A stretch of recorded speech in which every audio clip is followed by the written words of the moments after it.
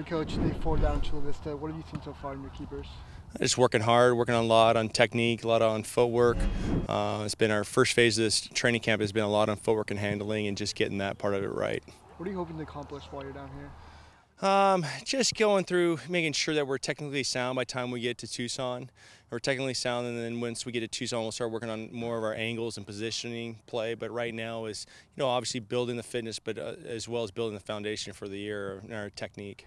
Towards the end of 2017, you guys had so many clean sheets. What do you think led to that success, and how are you going to sustain that in 2018? And just a fantastic team defending. You know, it starts with team defending first and foremost. And when Steph was called upon, or when uh, Tyler was called upon in the playoff game, it you know they, they did their job. But it's a total team effort. It's just not one player, one person.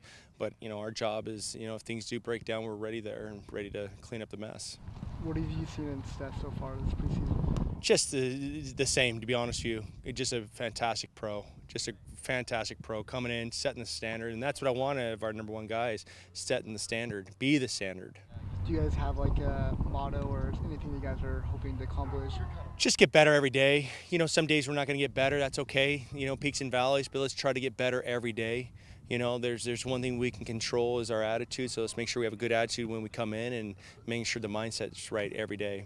How's the vibe of the technical staff with the addition of Preki and just the, all the experience that you guys have on staff? Yeah, I mean, new voices, it's great, right? I mean, it's it's fun to have new voices, new banter, and and and also they're coming in with a clean slate. They don't know what the team is all about, and so it's fun to hear what they bring to the team, what their opinions are of the team, and how we can improve and get better, because that's what we're here for.